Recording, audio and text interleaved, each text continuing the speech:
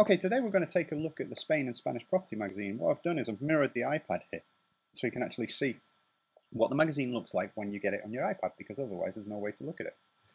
So anyway, this tells you how to use the app, which is very important of course. If you tap on the screen for a couple of seconds, at the bottom you get all of the pages and you can see what's there. But anyway, let's start with this page. And this page is the contents page and it's the contents for the featured content within the magazine. On the next page, you've got the property content within the magazine. We go to the next, we introduce you to the magazine, and then we go through the areas. We started with a feature on Asturias in this one, Green Spain, and so what we've got is an article about Asturias. And then we follow that up with properties in Asturias. Again, if I just click, we get through and you can see the different uh, areas of the magazine. Every month, we're going to have a bit about video tips about moving to Spain, and within the magazine itself, the videos actually play. So I put that on, and you get video number three of my 100 tips for moving to Spain. And in this video, uh, it was talking about inspection trips. You see, the video actually plays within the magazine itself.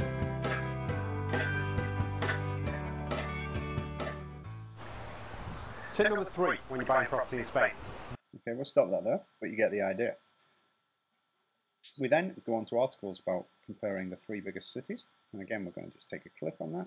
We'll go through all the articles. And you'll see that also we then feature properties within those areas. So we've got Barcelona Attic flat here with great views over the city. And more pictures of the property itself. Then do an article about Valencia. This is by Derek Workman, who's a writer based in Valencia. And it's about how to eat well in Valencia. As you can see, there's lots and lots of information within the magazine, not only properties, but then of course, we talk about the properties themselves, and we give you the properties that you might be interested in based on the feedback we're getting from everyone. And we've had some excellent feedback from the first two magazines. Again, we go through. We have articles about hashtags and how to create influence uh, using a hashtag. And that was a very interesting uh, study that we did. Again, we take a click. We have an article about Sherry. If you don't know anything about Sherry, I didn't know anything. This is a great article. And we carry on, and we've actually got property in the Sherry area, Jerez, which is a part of southern Spain, which is not known by many people.